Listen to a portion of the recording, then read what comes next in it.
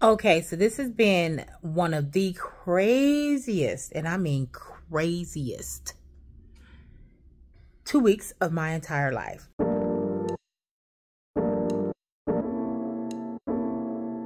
Okay, so my name is Claudine, and I, y'all know me as Mrs. C's from Mrs. C's Affordable Travel. But y'all, I'm not talking about no cruises today. I'm not talking about affordable travel necessarily today.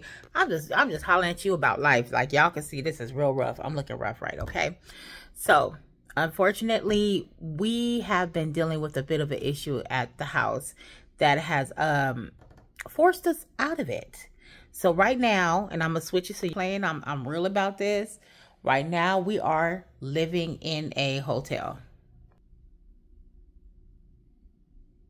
Living in a hotel. Now, I like to travel, but having to uproot my family and go to a hotel for at least a week um, after having been separated for two weeks from my kids has been horrible. So let me tell y'all what happened.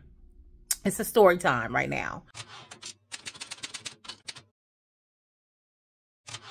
And it's going to tie in eventually to the travel channel. I don't know, but I'm just going to tell y'all what happened. So, um, where we stayed at had some bad weather. Um, and there was an issue with mold. Yep, y'all, mold. Um, as I've stated before, my, my children, I have asthmatic children.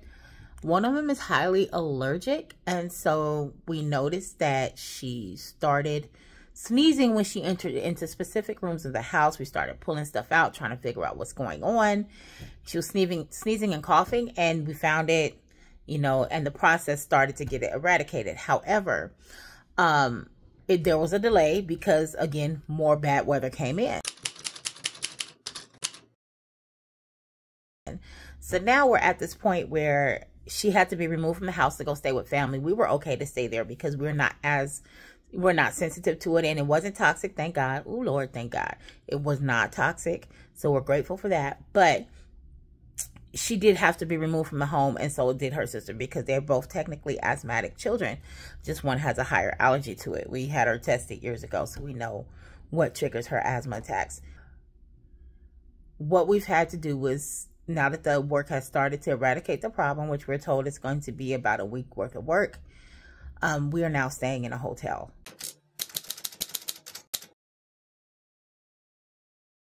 Which is interesting. The travel agent having to live in a week in a hotel because, you know, your home is being um, worked on. I've never been in this situation before. Never would have thought I would have been in this situation. I just want to come out and just say, hey, um, thanks a lot for supporting the channel. We are at last check 312 subscribers. I truly appreciate every single subscriber i have we have as a channel.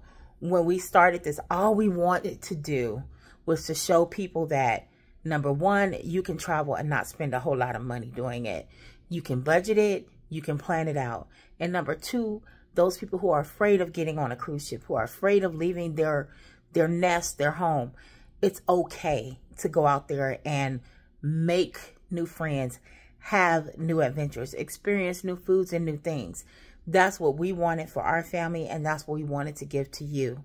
And recognizing the fact that sometimes there's a barrier because people people think that, you know, you have to spend all of this money. No, you don't. It's okay.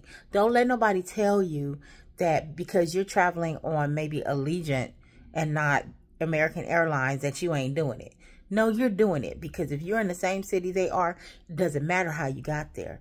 What matters is that you got there.